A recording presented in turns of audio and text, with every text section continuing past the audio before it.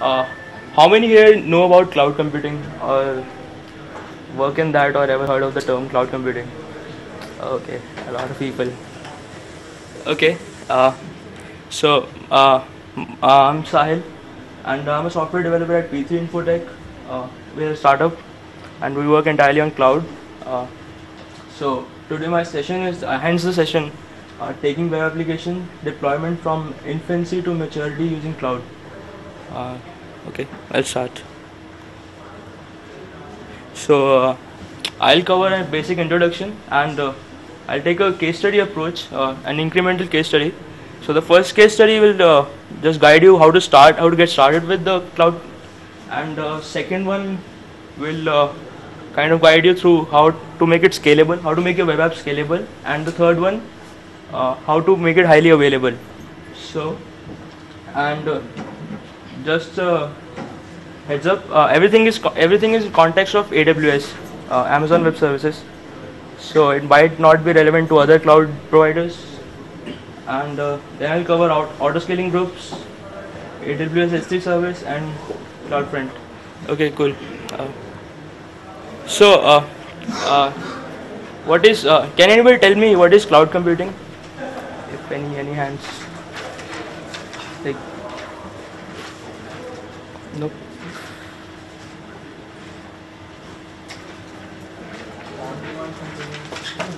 Yeah. So, any other Okay, cool. I'll begin. So, like, there is no, uh, there is no simple or what do you call? There is no one definition for cloud. And this is what I could find uh, on web, uh, which kind of suits the AWS model. So, a model for enabling uh, convenient on-demand network access to a shared pool of uh, configurable computing resources. And okay, so I'll just uh, give the highlight points. Uh, the main idea behind is pay as you go. So you kind of uh, pay only for what you use, and uh, like okay, I'll, I'll get back to that. And you use of use of compute, computing resources, hardware and software that are delivered as service of net over a network. So so uh, it's the same point. Like uh, uh, you have a big uh, data center and uh, kind of make it accessible via some APIs or web interfaces and use the resources to make it to use it as an app or an infrastructure platform, SaaS and PaaS uh, kind of stuff. And then the main thing is high availability. Uh, what cloud provides us and focuses on is high availability and scalability, uh, which I'll touch on in the case studies. Okay, so like this is the basic uh, starting stack for cloud. Uh, there's an what's an how many of you know what's an EC2 instance? Any idea? Uh, what is it? In, Okay, that's a You can empty a VM inside your uh, uh, Amazon cloud. right? Yeah, You can increase the compute power as and when needed. yeah, basically EC2 instance. You can if you if I take an analogy, uh, it's just basically a like suppose a Linux server. It's just a Linux server uh, virtually hosted on your physical server. So uh, consider it as a Linux machine, as it's simple. And uh, so what we have here is an EC2 instance, and uh, there's an EBS. EBS is basically nothing but uh, your block storage devices, uh, like your hard disk, simple. So, and uh, there's S3 which I'll cover a bit later. So, what uh, actually the scene is, uh, so an EBS is connected to an EC2 instance. So kind of you can use EBS in two ways. Uh, you use it, you can use it as, you can uh, make it as a root directory for your EC2 instance and make it bootable or uh, you could just use it as, as simple hard disk uh, for extra storage. So, so this is what uh, this is just a basic setup, and uh, you kind of uh, never use it actually. This is just an like to get you familiar with the terms uh, EC2 and EBS and S- uh, S3 touch on later. So uh, like consider you you're uh, you are a you're making an e-commerce website and you kind of start out on cloud. So you just have 100 users initial users. So i think yeah this this works fine. But uh, this doesn't uh, defines like what cloud is meant for. So let me come to One that. question.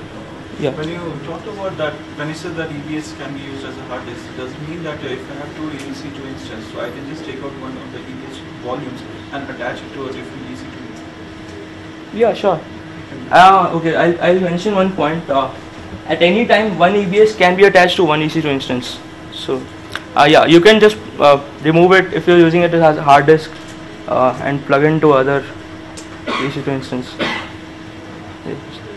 just kind of your hard drive thing normal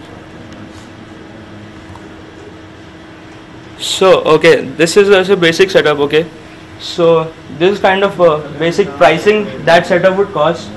It's just 90 $92 per month uh, and uh, I'm kind of assuming here that you use 20 GB for for the data and uh, 10 GB for S3 uh, and then similar for network.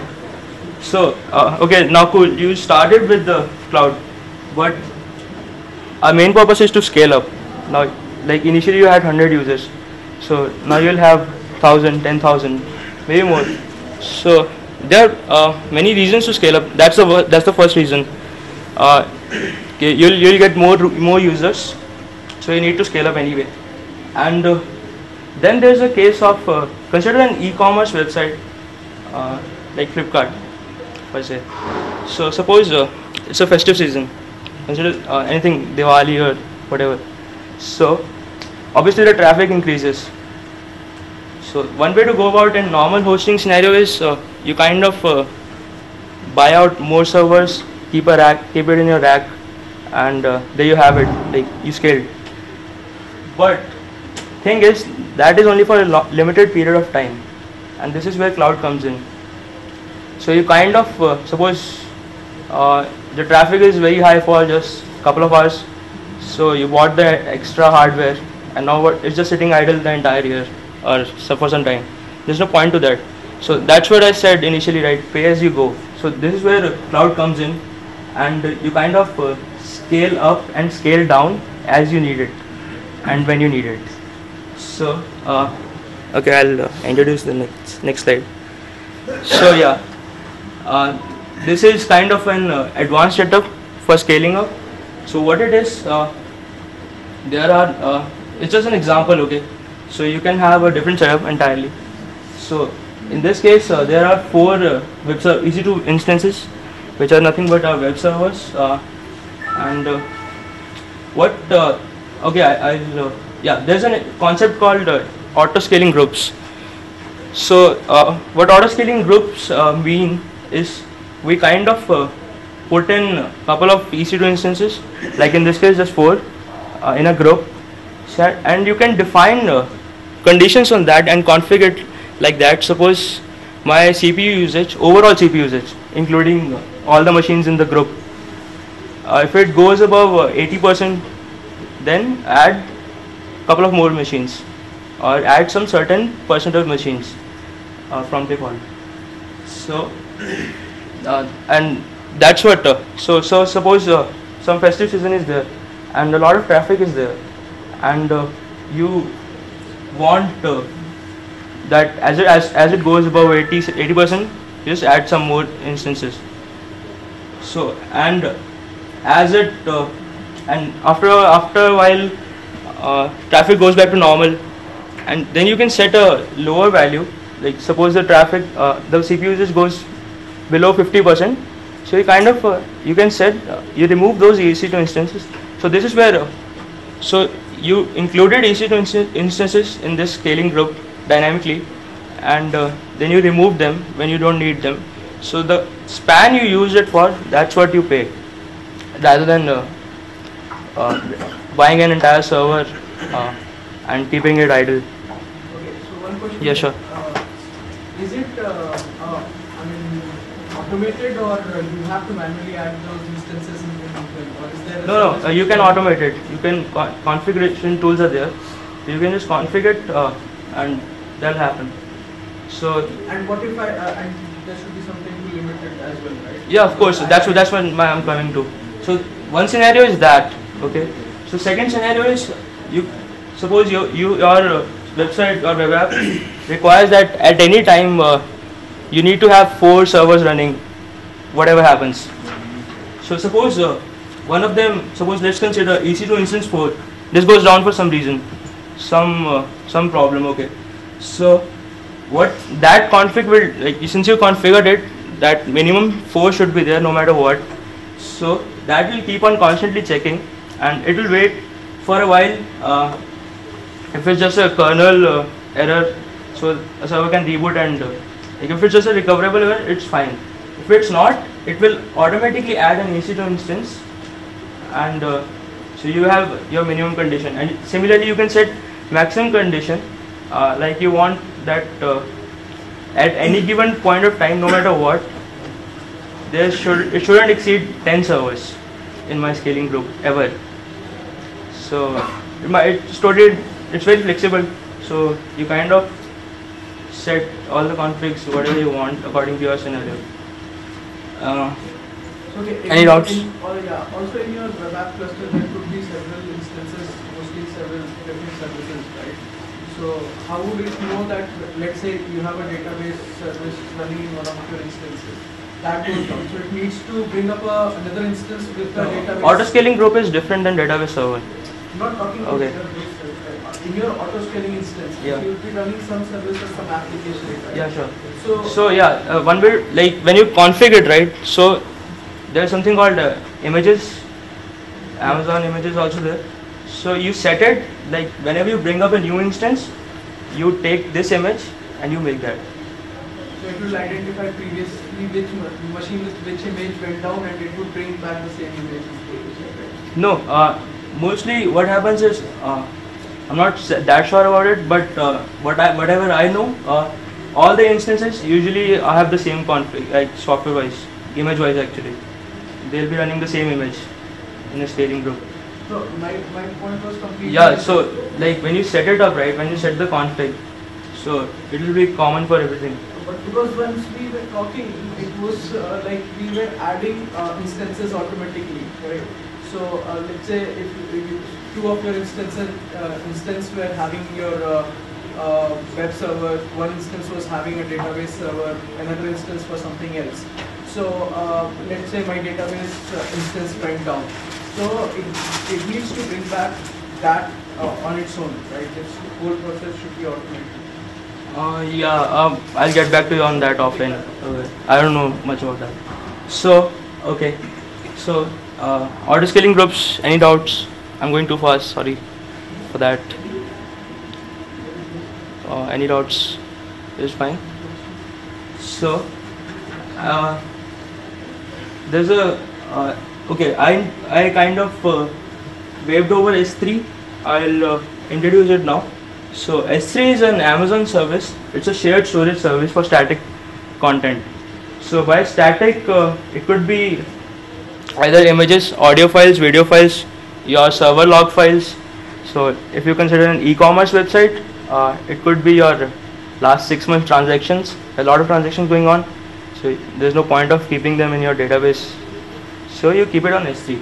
And the major reason uh, can it, like can anybody guess why do like I can just keep it in an instance right EC2 instance so why do I need S3 any guesses It maintains all the metadata for your objects. It's an object storage basically. Right? no uh, yeah it's an object storage It's like permanent rest storage, it will keep uh, multiple copies of that. So that you can you can also do the main reason is uh, Okay sorry sorry Storage. storage storage can be achieved by EBS also right That so distance goes down.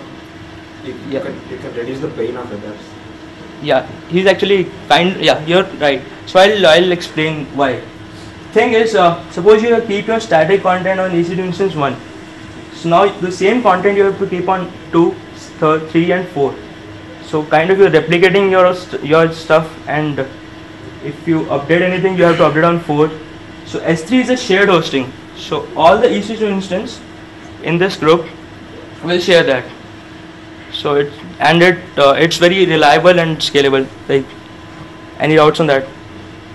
So it's kind of just keep it once. That's all. So reduces your pain uh, to keep backups or to maintain it in four servers, different servers. It's typically cached, right? So Yeah. Uh, it will, the but- call will not go to the application so web server. So it will go to the different kind of a static server. Yeah, of course. Yeah. Now your web apps uh, need to be aware of of S3. So they need to be aware that uh, for static content, the call should go to S3. Uh, and, Even it will not download all the static content. So it will check if something is modified so that you will get a 304 from HTTP code. No, that's with CloudFront when you, you Yeah, cache the. that's with CloudFront. the static Even files from especially the for client static side. Contents. So no need to like, actually download the content already. So it will send the last modified timestamp which is That already happens downloaded. with It could be your image files, JavaScript files. So uh, it will just a last modified timestamp will be sent it to the server and it will check whether it is modified. Then only it will serve that. Otherwise it will send a 304. So there is no traffic on that. Yeah, but this happens, if I'm not wrong, with the CloudFront service, not S3 is purely for storage. yeah. S3 S3 acts. got it. Uh, You are correct. S3 will act as a uh, root point for CloudFront. In that case, So I'll, I'll just cover. Uh, I'll just cover that. So any doubts as as in now? Oh yeah, I'll come to that. Uh, so okay, ELB is a elastic load balancer. So nothing, just normal load balancer. You uh, anybody knows? Everybody knows uh, what a load balancer does. Multiple requests. No, so like since there are so many web servers, right? So uh, you need to route request incoming requests intelligently to them. So if it sees EC2 instance one and two are very loaded, then it routes it to three and four, and similarly. Any doubts? Uh, Taking further his question, actually, Yeah. I'm just trying to understand. So auto scaling, does it mean just increase the computing speed? I mean, uh, without taking care of the applications which are already there in one of the system? Does it mean that? So let's say if I have just one EC2 instance which has all the applications installed over there, but then I just want to increase the, since CPU was up to 80% or 90%, so I just wanted to increase the uh, compute speed. So does it mean that uh, attach one more instance of say micro instance or medium instance, that's all, without having any application, or provide the, the extra compute speed? Uh, Does it mean that? No, it doesn't mean that. Okay. It means uh, you have another virtual machine which will host your web app as do all the four machines there in this case. If you add one more, it's just a replica of this thing. So So this is a web server basically, if you see. So it retains the state of the various objects which was there in one of the instance. Can you Uh, assume no. it is a cluster and multiple nodes? So I'm sorry. Okay. Uh, what was the question again?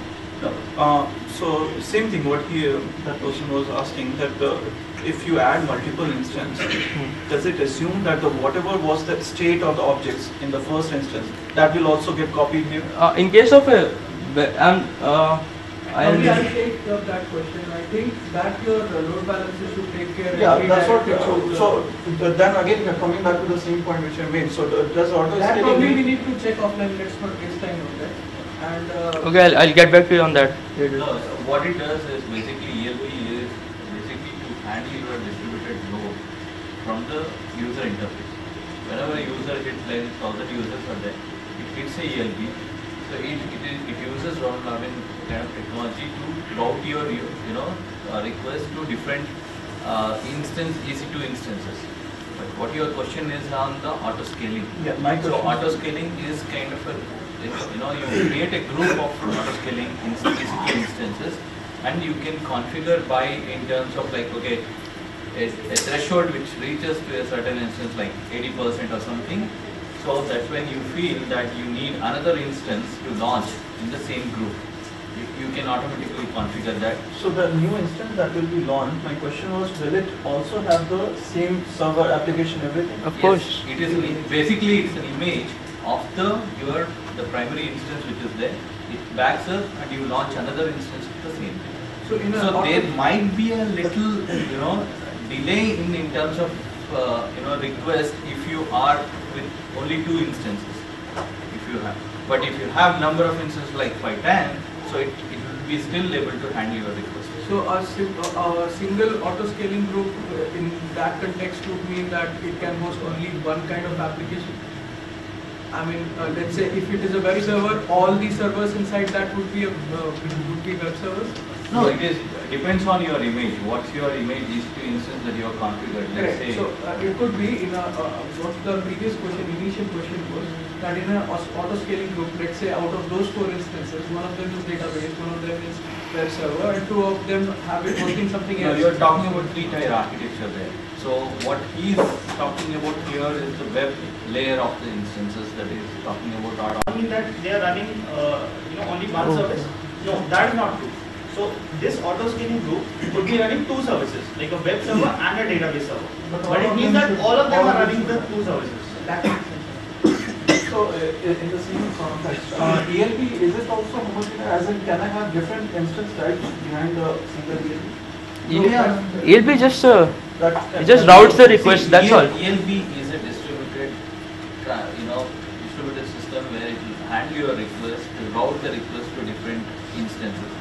So uh, if you if you are traditionally how you are doing, the same as that, it supports a distributed kind of el- elastic kind of load balancer where you don't know, uh, you don't have to really, you know, let's say your in- EC2 instances are increasing, so you don't need to reconfigure from an uh, uh, load balancer perspective earlier. That is traditionally what that's how you are doing. So now with the elastic load balancer, it has you know uh, configuration basically where it can route the request as and when you add your EC2 instance. So instance type doesn't matter in. Doesn't matter. No. Uh, okay, so in this scenario, uh, since we uh, okay, I covered the auto scaling part, and so you uh, since we need uh, we have more users, so we need a separate uh, instance for a database, separate EC2 instance. Sorry, one thing I forgot. Okay, so in this case, this EBS, uh, so the basically the EC2 instance is uh, running the web server, running your database server, and uh, and that's all. So in this, but since now number of users increases, so ideally you want a separate dedicated machine for your database server. So this is what this represents: a separate EC2 instance uh, with an EBS attached to it. So this kind, uh, this is your database server. Uh, any doubts on that? So what that uh, blocks and EBS blocks, the brown color, that's Yeah. also database, So- right? Uh, that is uh, no, that is not database. That is actually uh, like storage for your uh, extra storage for your web server, for your EC2 instance in this case. So your EC2 instance might uh, like it's a it's like a hard drive. You just you can use it in two ways. EBS, either you can use it as a Okay, there are so, two sorry kind sorry I I I- okay Two there, kind of data server stuff. One is everything in the database, other thing is the static one. okay sorry I I I uh, one second. That in that case it's a storage and uh, object storage. So ELB is basically block storage and S3 is object storage. no no it's his question is different. His question is different. Okay, so I'll answer question that. is different. My question EBS. So EBS in that case is the root point of that server. So kind of it's a it's not required actually. So but you kind of uh, want more memory, sorry, more space. So you do that. So it works. Your root will be mounted on that and boots. So kind of your hard drive, same thing. I, I have a cluster, so all these uh, four blocks of EBS is not there. The same thing will be brought down. We will have another two or three DB servers which will have this, you know DB storage on it. So again, you have a cluster of databases. Yeah, of course. Cluster of so you have. I mean, it's completely abstracted now. So there is here it is completely combined. Yes, uh, That's the question. I have. So Uh, any other doubts? Should I move on? Okay. I think I covered all. So, uh, kind of for that scenario, uh, the cost goes about uh, $470 roughly. It might vary according to your uh, requirements. Yeah. So, that's just an estimate. So it's uh, uh, like I was checking uh, today on GoDaddy. So if you take dedicated servers, right, uh, a similar uh, server with hardware configuration, I don't know the exact figures, but probably that will cost you more uh, than this. So kind of uh, this is economically viable to do. only need a storage 20 GB in one ELB. Oh, sorry, uh, that's the problem with Slido. Sorry, my error. That's uh, network usage. Ah, Sorry. I just made it very quickly. Uh, that's a bandwidth, right? Yeah, that's Yeah. bandwidth network usage. Data transfer. Data transfers. Uh, anyone else? So should I move on? I think that's for virtual memory, maybe. Which one? No, no, no, no. ELB? Yeah. No, no, no, no, not no. ELB, uh, the EBS storage which is attached, Ah, yeah. directly attached Yeah, to the that's a server. virtual hard disk. So uh, before. So actually, every uh, server must have a root volume, right? Yeah. That, that's what the EBS is. You can So externalize every server, whether Windows or Linux, that it's it's the either the C drive or the root volume. At least the operating system and other software which is running. Right. So so for example, your web server software will be running from that EBS. See, It's not, it's not just for the virtual. uh, Okay, application is not going to store any kind of a data over it in terms of a DB or any kind of static data. It's completely moved into the below layer. Right. Yeah. But at least the, the code is there. Yeah, it's basically the code. Okay, so before I move on, uh, I'll tell you about regions and availability. Anybody knows what are Amazon regions? Can anybody explain? Any idea? Okay. Uh, so regions are basically uh, geographical uh, uh, dat- areas where Amazon has its own data centers. For example, uh, uh, Singapore, then uh, Virginia, and so on. So within a region, uh, there will be availability zones. So what availability zones are basically they are isolated centers, and by isolated, uh, I like I mean if consider Singapore region, so that I think has uh, two availability zones. What it means is two different physical data centers within the Singapore region. So the idea behind uh, doing that is if one of the availability zone goes down, other is still present. So this is where uh, high availability will come into picture. Any doubts? Uh, I would recommend that you change your slide please. You go to the Amazon web services, clearly mention what are the reasons, what are the availability. Take the same picture and paste it. It's the same picture actually. Uh, I know I this is like uh, you know very at a very very high level people will not able to understand. Okay, I'll, I'll explain uh, it this. Even you can browse it and then say, show them that is much easier to understand. They, I think- they clearly mention how many eight regions, whatever it is, how many zones in each region. Yeah, kind of. I'm I'm short on time because there's a lot to cover. So I'll just uh, cover it once again. Okay. Suppose uh, Singapore is one of the regions uh, for uh, Amazon. Okay. So it has uh, in within that region it has multiple data centers. So they are called uh, the basically availability zones. So the idea is to if one of the availability zones goes down, if one of the, something happens, power outage, anything, so others are still available. So this is where the idea of high availability comes when you want your web apps, uh, especially uh, e- e-commerce website or uh, video hosting website like Netflix, you can't afford to go down at any time. So you kind of need to architecture your uh, apps around this. So uh, any doubts still on that? So uh, yeah, so basically this is the same uh, config as previous, and uh, there are two availability zones. Uh, the uh, and the reason is same to do that. Suppose uh, if this zone goes down, your is your app is still running, so it's it's running on two different availability zones. So and the only thing your uh, application should be aware of in this case is the uh, master and master slave architecture for database. So the, the thing with database is uh, it can uh, write only to one server always. So so the master master database uh, is the one where all the write request goes and uh, slave database is the one where read request will go. So why would you uh, want to do that is uh, actually so suppose uh, I, my uh, data server is handling all the write requests and all the read requests So there will be a lot of load. So this is a condition when you have many users. So in that case, we keep a slave which is exact replica of master. So all the read requests we, we can uh, make our design our app uh, as such that all the read requests are routed to the slave database and all the writes will happen in master database. Uh, so you can have as many slaves you want, but there will always be one master.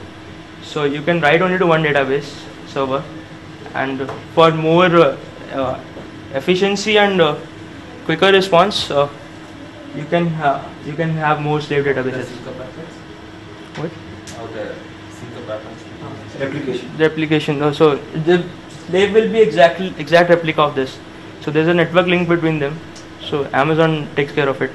You don't need to. I have a question. Take- If if you're gonna sync data between two different locations, even though they are in the same, uh, different, uh, Same- same region but dif- different localities, different data centers, right? Yeah. So, uh, if there is anything, uh, you said uh, write will be happening on some one master thing and read will happen on the slave. Yeah. So if a sync breaks due to some reason, so what will happen? Will the database be able, will uh, instance be able to read it from the master database?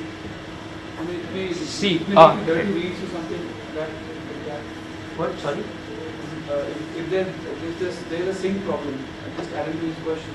If there's a sync problem, it may it may be the case that there's a dirty read kind of thing that the data which is read is not correct. It's not the updated one. If writing is taking place on the other, I And read is happening. I don't. Job process. I don't have much information right now. So it depends on the type of replication.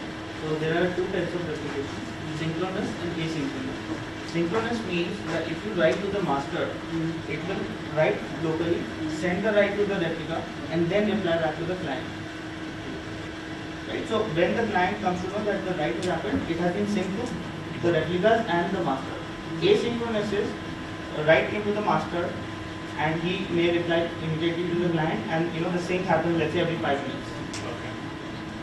But you know what I think the uh, presenter is talking about, there are two uses of the replica. One is, you know, in case it's a, uh, if the master fails, you can fail over to the replica. And the other one is to scale the database itself. Because right now, you know, we have been able to scale the EC2s, but we've not been able to scale the database. But uh, does it mean that it can even write and uh, read from the data? No. At a time, you can only write to one Base in master. case master fails. Yeah. At the time, that Then the slave will be- can I- I- also I- act as ma- master at some point of time. Yeah, I think That will Typically, when do you need the asynchronous replica? Sorry? Yeah, typically, when would you need that asynchronous, uh, because that, would it not lead to some bit, um, delay in the updated uh, perf- uh, info being sent to the client? Yeah, but it's synchronous is very expensive. Normally, that's one. Okay. And uh, second, uh, you know, like you mentioned, if there was a network outage, it means that your read replica is kind of useless. But yeah, if uh, But So so because because should be something that stops says uh, the replication should is uh, not happening. So, so you need to read and write from both the master data right? Right. Is there anything? yeah, I think there might be some alarms. Okay.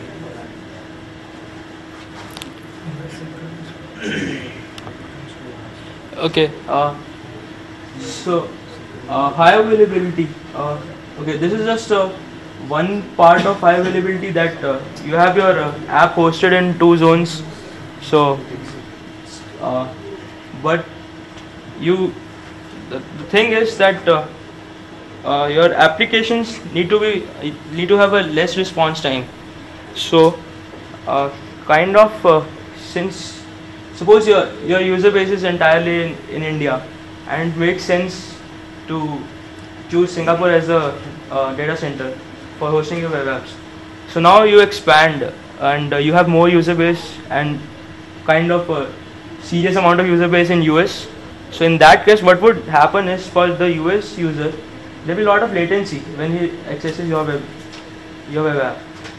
So to reduce that and uh, that's where uh, Amazon's uh, CloudFront comes into picture. So uh, CloudFront is nothing but a simple cache.